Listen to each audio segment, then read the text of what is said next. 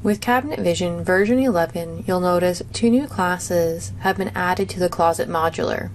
You'll notice that this is base and upper. When saving a cabinet, we can select it and go to save and save or save as. And when we go to advanced, here we can set whether it's a standard closet, a base closet, or an upper closet.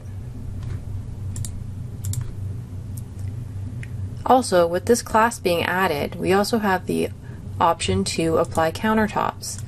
Countertops will now automatically build over any closet base object present in the room.